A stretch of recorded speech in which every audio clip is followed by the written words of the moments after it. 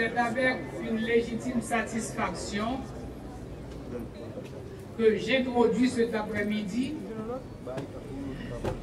un ami, un collaborateur, un camarade, le professeur Enec Jean-Charles, comme chef du nouveau gouvernement haïtien. Dans le cadre de l'accord du 5 février dernier que j'avais signé en tant que président du Sénat de la République, avec le collègue de la Chambre des députés, je m'étais engagé à rentrer en consultation avec tous les acteurs de la vie nationale afin de recueillir une liste de personnalités disposant de toutes les compétences requises et de toutes les qualités pour être investis au poste de Premier ministre. De ces consultations, huit personnalités haïtiennes ont été proposées. Après avoir fait choix de l'économiste Fritz Jean, j'ai été une nouvelle fois encore appelé à me remettre au travail. Après des heures et des heures de consultation, le compatriote, l'ami, le frère, le camarade, le collègue, le confrère, le collaborateur, Enec Jean-Charles, a été présenté comme pouvant être celui capable de construire cette majorité indispensable dans les deux chambres pour obtenir sa ratification et celle de son gouvernement. Et vous êtes le témoin qu'après une journée marathon, 20 sénateurs sur 21, le président ne vote pas, 78 députés sur 80 lui ont témoigné de leur confiance. Et c'est ce Premier ministre plébiscité, je dirais, c'est ce Premier ministre détenteur d'une légitimité à toute épreuve qui est appelé à mes côtés à conduire la Banque nationale, à conduire le pays sur la voie des élections pour que le plus rapidement possible, le pays puisse se doter d'autorité jouissant de, de toute la légitimité constitutionnelle. Ainsi, mon très cher ami,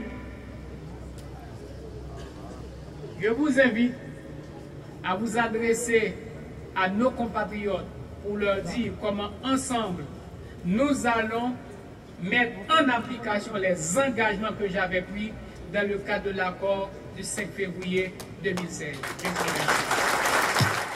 Je voudrais d'ores et déjà lui renouveler mon engagement à servir la République sous son leadership avisé et de ma ferme détermination à remplir ma mission dans l'intérêt commun qui guidera nos actions à la tête de la primature.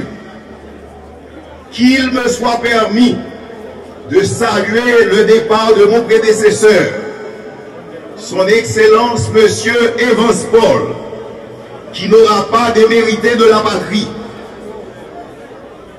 Je vous remercie vivement pour vos bons propos tenus à mon égard et le travail que vous avez accompli à la primature.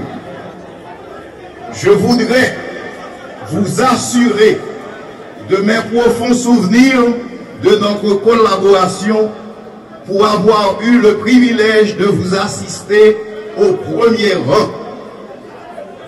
Mesdames et messieurs, comme vous le savez, vous avez été à l'issue d'un consensus politique appelé comme membre de gouvernement que j'ai l'honneur de diriger. Vous avez certainement compris, mesdames et messieurs les ministres, que nous avons un chemin à parcourir ensemble. Je salue chaudement votre présence à mes côtés. Toujours est-il qu'il est de mon devoir de vous rappeler la mission principale de notre gouvernement, dont notre gouvernement est investi, travailler à la relance et à la poursuite du processus électoral qui constitue le cadre de l'action gouvernementale, comme je l'ai déclaré dans l'énoncé de ma politique générale, qui est avant tout la feuille de route de notre gouvernement. La responsabilité de chacun de nous est donc engagée à travers les différents ministères dont vous aurez la charge, car l'efficacité de l'action gouvernementale sera appréciée à travers nos actes et nos résultats qui tiennent particulièrement compte de la satisfaction des besoins de la population.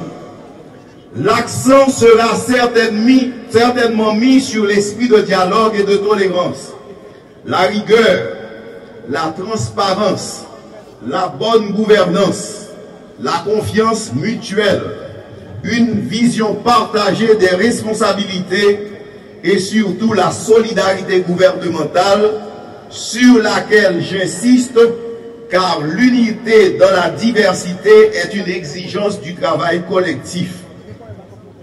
Je compte sur la collaboration pleine et entière de chacun de vous dans la tête des objectifs de cette entreprise collective qu'est le gouvernement de la République. Pour ma part, soyez assurés que j'investirai toute mon énergie dans le traitement et la coordination des dossiers de vos ministères respectifs. Au-delà de nos efforts, que j'appelle de tous mes voeux pour mener à terme le processus électoral, je veillerai à encourager, dans les limites des disponibilités budgétaires, toutes initiatives individuelles traitant des questions d'urgence sociale dans l'intérêt bien compris de la population haïtienne. Je mise pour cela sur l'implication de tous les cadres et de l'ensemble du personnel de la primature afin de permettre à tous les ministres de tirer pleinement profit des mécanismes de coordination de l'action gouvernementale. Permettez-moi de renouveler l'existence de mes sincères remerciements, l'expression de mes sincères remerciements au président de la République, son Excellence, M. Joseph River, qui m'a investi de sa confiance.